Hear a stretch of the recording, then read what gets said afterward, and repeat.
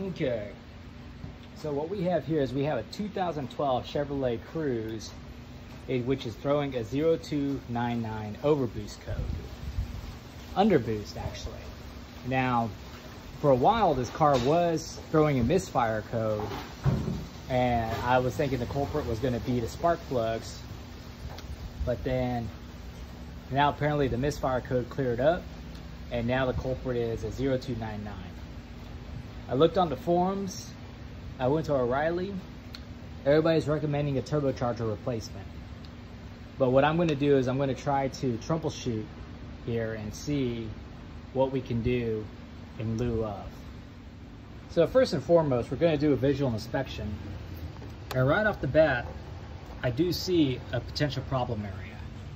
Now, in a lot of the videos that I watched, they talk about the wastegate actuator being one of the problems. Now the wastegate actuator is right here. Now the function of this is that this is actually, I'm not sure if it's a vacuum driven servo or if it's an electric driven servo. I think it's a vacuum driven servo since there's a vacuum line here. And this servo actuates this rod which functions the wastegate that's inside the turbo on the exhaust, exhaust port manifold side. Now, this turbo here on the exhaust port manifold side um, also hoses, houses the O2 sensor. And the O2 sensor is also throwing a code. But I talked to Bosch about the O2 sensor and they say that the code that the O2 sensor will throw is kind of like a tertiary code or it's something that will be thrown when something else is occurring upstream. So I do think that this is the culprit right here. Now, just from a visual inspection, I can see that there's a lot of oil on these lines where there otherwise shouldn't be, which indicates that there might be some type of a leak. So that's going to be my point where I'm going to go and uh, investigate.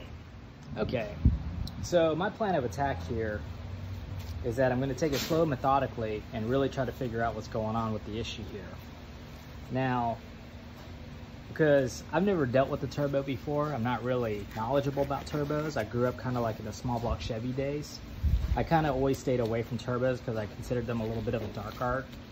But, you know, I do have some familiarity with them due to uh, industrial education design and the fact that turbos are so widely used in non-car applications. So I do feel like I have a pretty good working understanding of the fundamentals.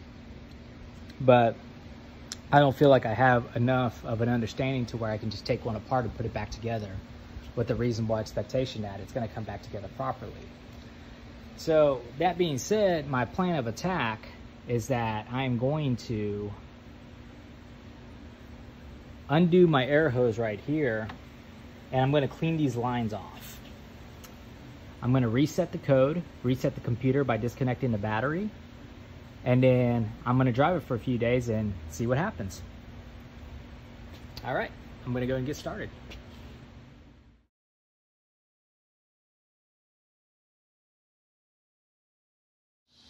All right, so right off the bat, I've removed this piece and we already see some action. Now, there's oil in the intake, uh, the air intake, leading into it looks like this is going to be the uh, intake side of the turbo. now, I'm not sure how oil is getting into here because this should just be all air unless it's being introduced through here somewhere. But it looks like it's pretty dirty here. So whatever's going on, it's going on in this area right here.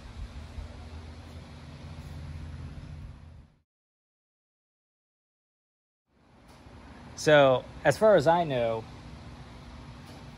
this didn't take too long to diagnose, but as far as I know, this is a PVC system. This is vacuum side of the line. I don't think there should be oil or any fluid in here, but we have oil dripping out right there. And we have oil on the intake plenum side of it. I think plenum's a good word for it, I'm not sure. So if we have oil being introduced in areas where oil isn't supposed to be, that would point to me as some type of a catastrophic failure.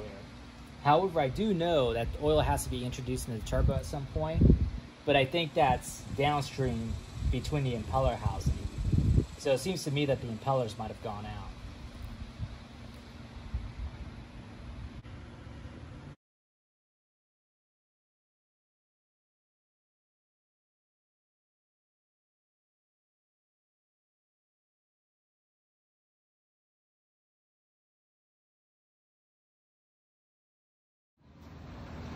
Okay, I'm not sure if that was recording or not, so I'll just go ahead and start again.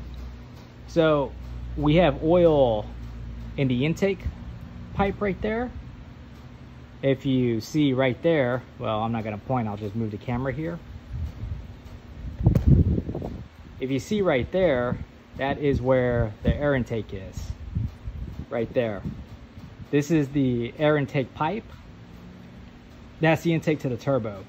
Now I've removed the hose right there and we have oil coming out where oil shouldn't be. So let me go ahead and move the camera around so we can do some forensics here and really give you guys an idea of what we're dealing with here.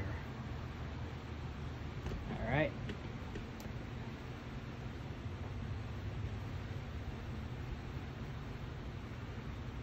So we have oil in here. We have oil in this uh, tube right here, which I believe is a PCV valve, PVC, PCV. We have oil here inside the intake.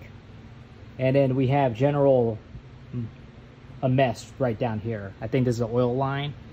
Now, the two points of interest are we have two rubber hoses right here that seem to be they actually seem to be relatively dry, but I think I'm gonna replace them anyway. So my plan is I'm gonna replace these two hoses and I'm gonna replace this part right here and I'm gonna see if there's a replacement for this part and I'm gonna replace this oil feed line right here and then clean everything up and see how that works.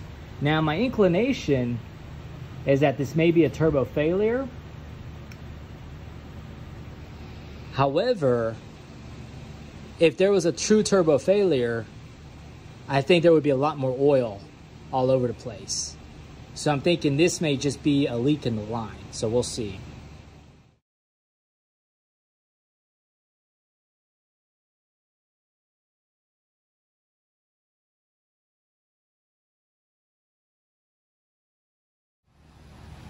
Okay, buddy.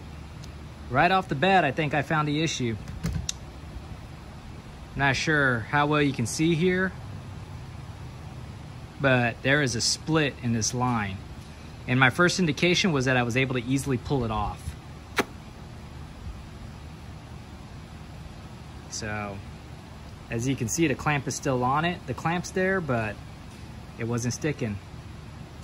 This right here was right over, it was here. See how I could just slide it on and off? I don't know if you can see that or not. Probably not. Let me adjust the camera.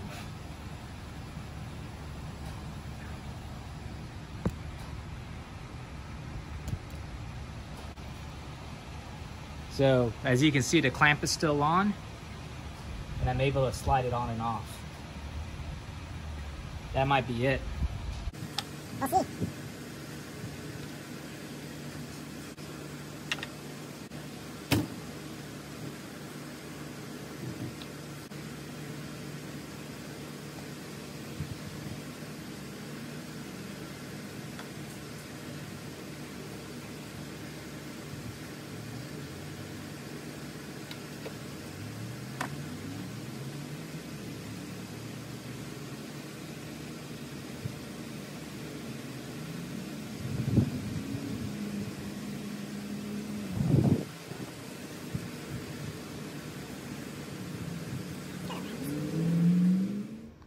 That did not take care of the problem either.